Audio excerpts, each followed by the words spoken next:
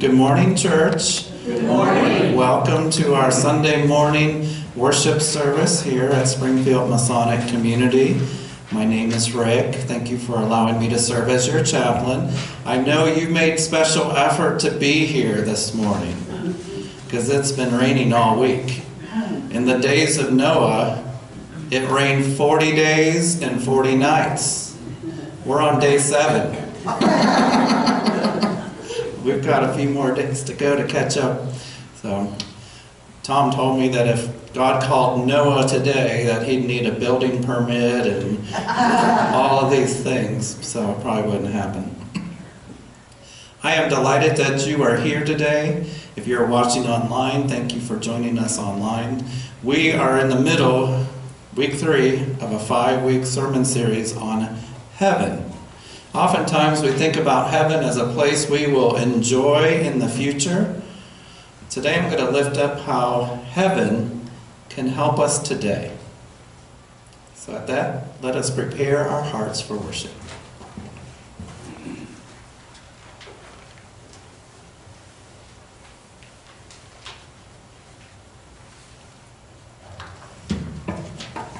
Good morning, everyone. Please join me in the call to worship. What shall I return to the Lord for my benefits? I will lift up God of salvation and call the name of the Lord. I will pay my vows to the Lord in the presence of all his people. Precious is the name of the Lord is the death of his faithful Son. Our next hymn will be All Things Bright and Beautiful, number 243.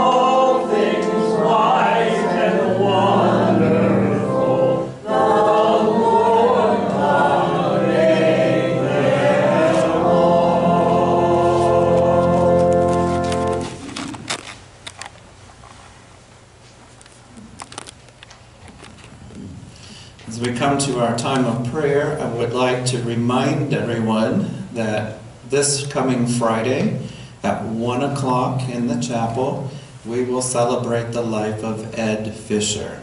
He was a resident here for over 20 years, um, served as the president of the Independent Living, and um, his family will be coming in providing some refreshments, but they would like to have a celebration of his life here uh, on Friday at 1 o'clock. Also, keep those who are not feeling well in your prayers. Let us go before the Lord in prayer.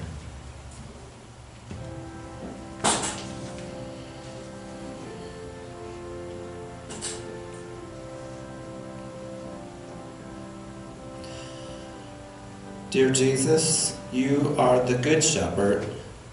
You know your own, and your own know you. When we, your sheep, were lost, you searched for us, found us, and carried us home. We thank you, Jesus, for protecting us from temptation, for receiving us into your presence, and for healing our pain. Like the lost sheep, we confess that sometimes we go astray and lose our way. Forgive us, Lord. By your grace, help us to keep our hearts and minds focused on you and doing your will. Give us the strength and courage to honor you, to give you glory, and to bless your holy name in all that we do. For it's in your name we pray. Amen. Amen. And let us pray together our Lord's Prayer. Our Father, who art in heaven, hallowed be thy name. Thy kingdom come, thy will be done, on earth as it is in heaven. Give us this day our daily bread, and forgive us our trespasses, as we forgive those who trespass against us. And lead us not into temptation, but deliver us from evil. For thine is the kingdom, and the power, and the glory forever. Amen. We have special music. Hi there. This morning we're going to have a piece which I wrote, upon which I wrote a fantasy, fantasia rather, on the hymn My God and I.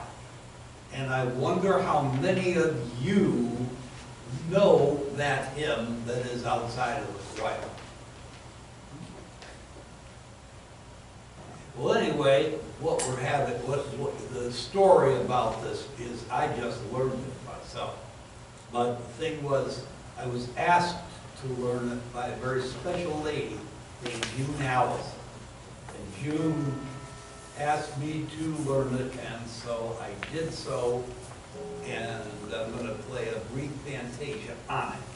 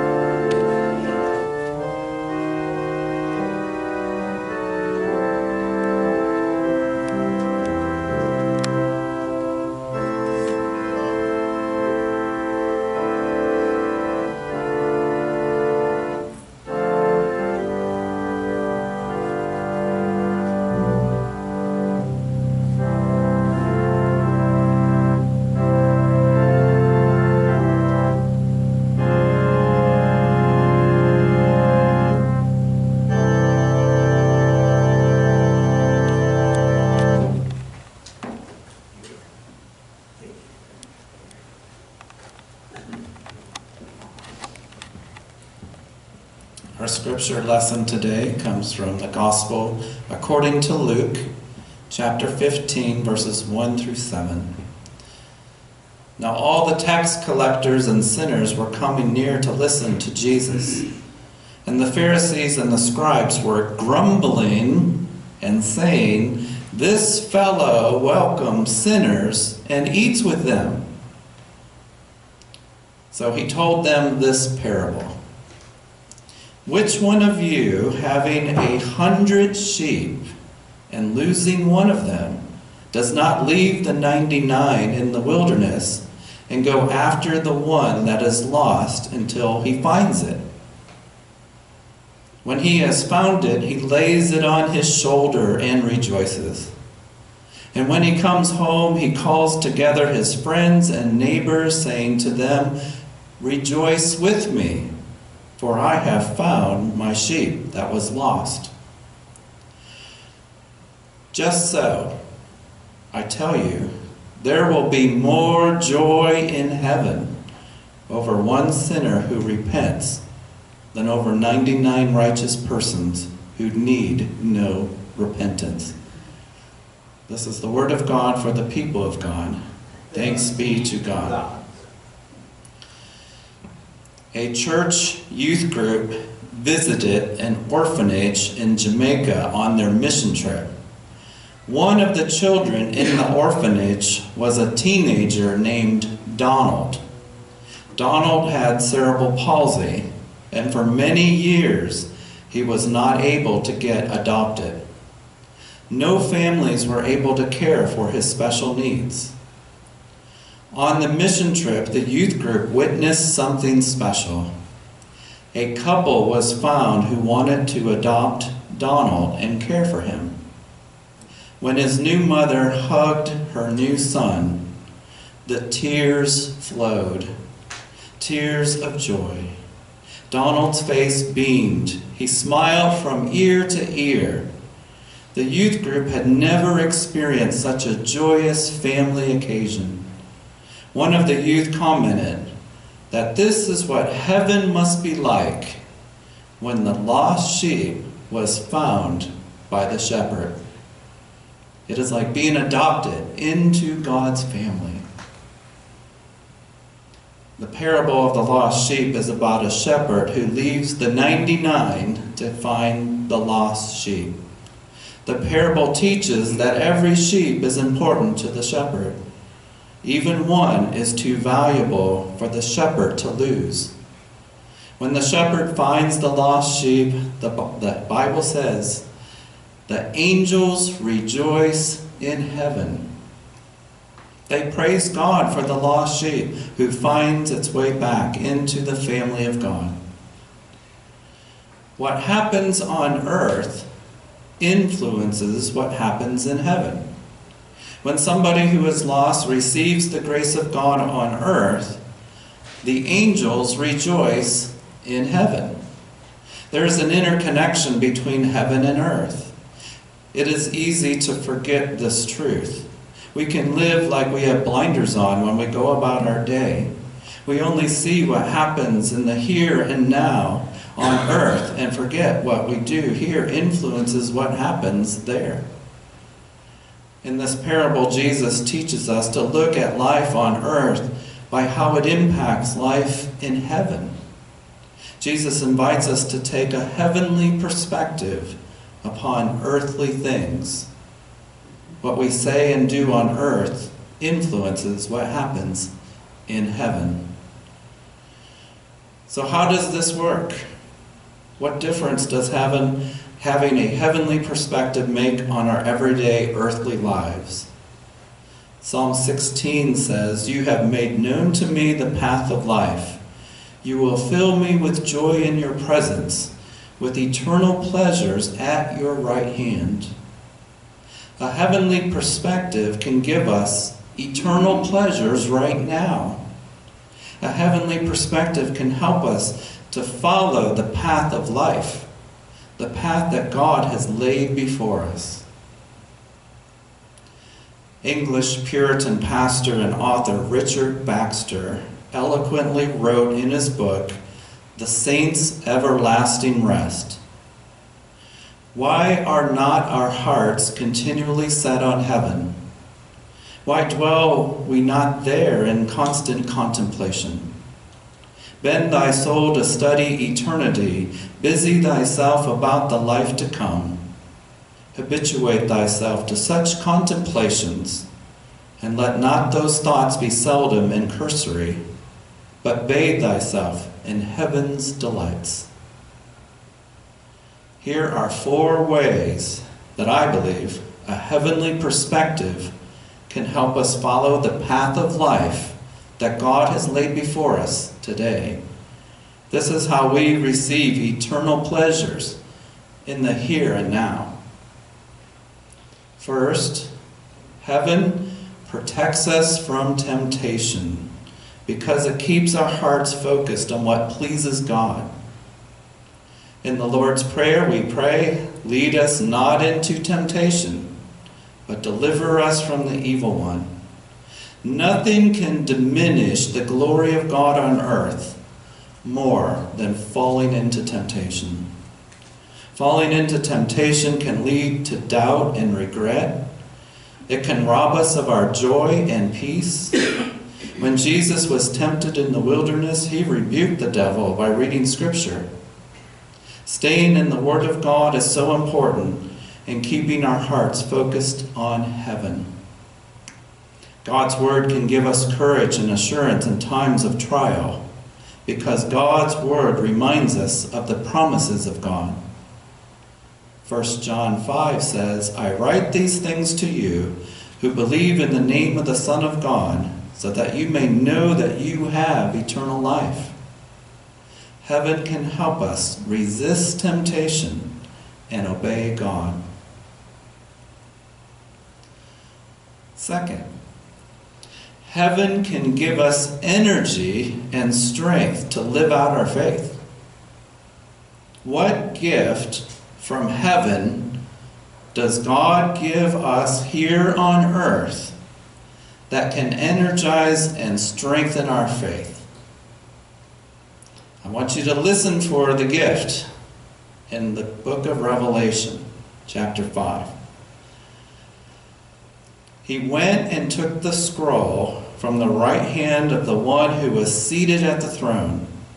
When he had taken the scroll, the four living creatures and the twenty four elders fell before the Lamb, each holding a harp and golden bowls full of incense which are the prayers of the saints.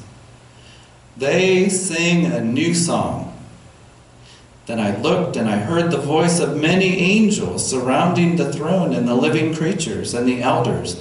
They numbered myriads of myriads and thousands and thousands, singing with full voice Worthy is the Lamb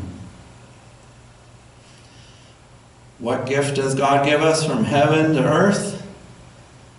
Music. Music is heaven's gift to us, which gives us energy and strength for our faith here on earth.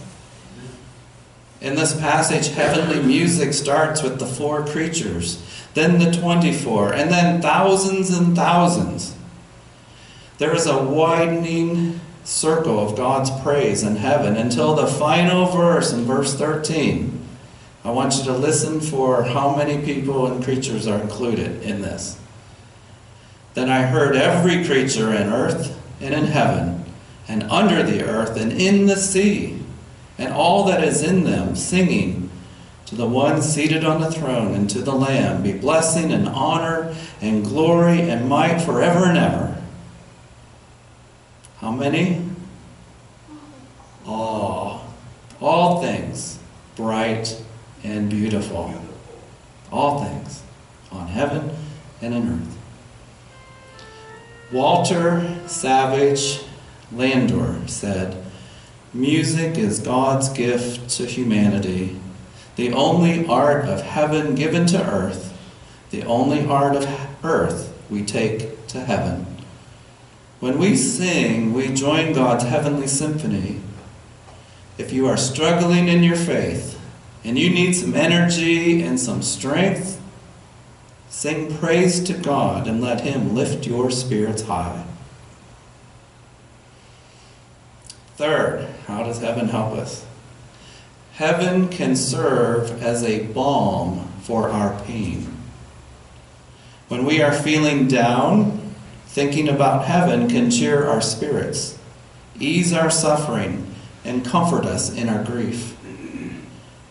Eric Clapton is an English guitarist. He wrote the song Tears in Heaven after he lost his four year old son in an accident. Tears in Heaven is a deeply personal song to Clapton, who writes that he found healing through the music. Here is the first verse Would you know my name if I saw you in heaven? Would it be the same if I saw you in heaven? Beyond the door, there's peace, I'm sure, and I know there'll be no more tears in heaven. 1 Thessalonians 4 says, But we do not want you to be uninformed, brothers and sisters, about those who have died, so that you may not grieve as others do who have no hope. Heaven comforts us in our grief, because in Christ we have hope. And fourth, and lastly, when our hearts are set on heaven, we can be an encouragement to others. It is easy to focus on our own suffering. We can get lost in what we no longer have. Grief can be debilitating for some. Heaven can help us remember to encourage others who are suffering a similar loss. Heaven reminds us that we are not alone.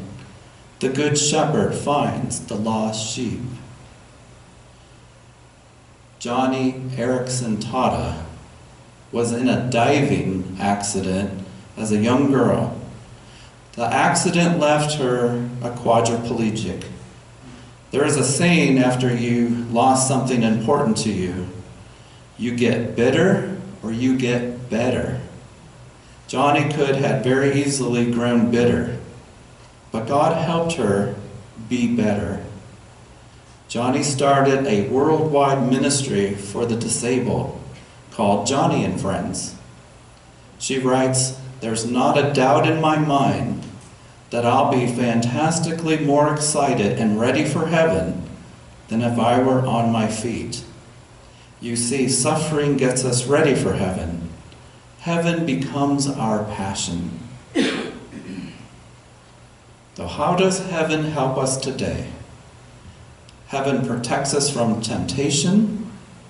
Heaven can give us energy and strength to live out our faith. Heaven can help soothe our pain. Heaven can help us be an encouragement to others. Bless you. Thank you, sir. I've heard people say, What will it be like to go to heaven? And the question I like to change it around. To me, it's not so much what it's going to be like when I go to heaven, it's about the one who is coming to get me. When the Good Shepherd found the lost sheep, all heaven rejoiced. When the Good Shepherd finds us and receives us into his presence, then we will know we are home. All heaven will rejoice. In heaven we will dwell eternally in the shelter of the Most High and rest in the shadow of the Almighty. May it be so. Amen. Amen.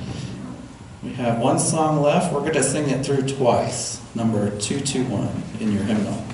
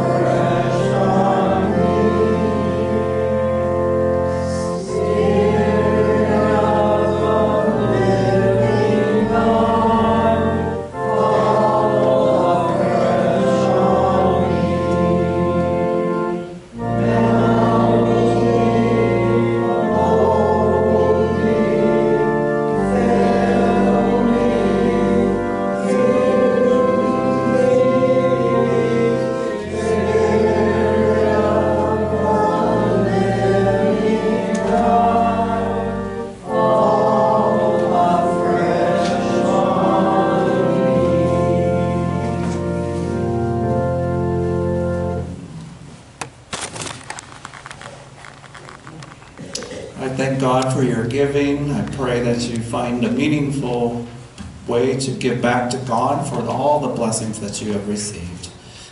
So at this time, let us sing together the Gloria Patri.